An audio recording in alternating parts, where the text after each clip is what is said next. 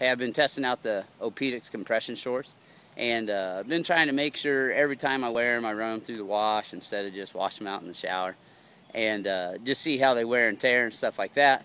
Um, but uh, I've had them for almost two months now so had quite a few runs in them. Did another run in them this morning and just kind of show you what you're looking at.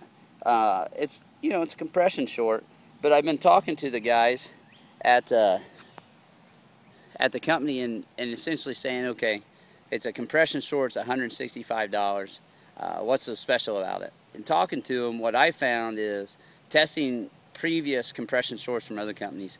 Uh, one pair in particular, I, I raced a 10K in it one morning, and I bet I had to pull those things up in the back every, you know, minute and a half, two minutes. It's super annoying. Science behind it is that, um, similar to what, you know, other companies would claim, is that, you know, what they're trying to do is map the body and so they're finding the same areas for compression panels that your body uses for different parts of muscle um, firing and activity.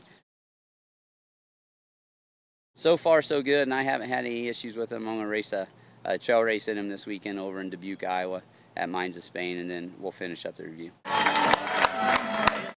Today we did a trail race, half marathon here in Dubuque.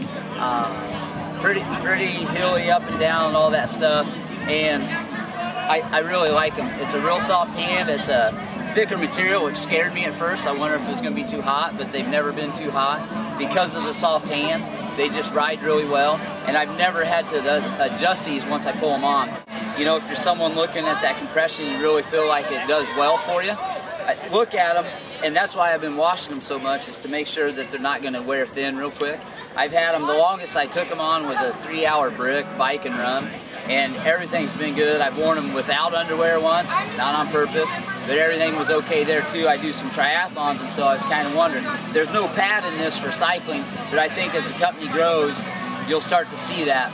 Talked to them a little bit and said, hey, how about a nutrition pocket on here somewhere? And I think they do that just somewhere on here.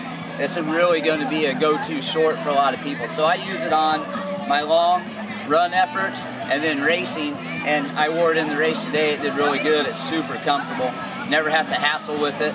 And it, it's supportive enough without being tight. And I like that too because if it gets too compressed, it's uncomfortable. So Opedix, start looking for them.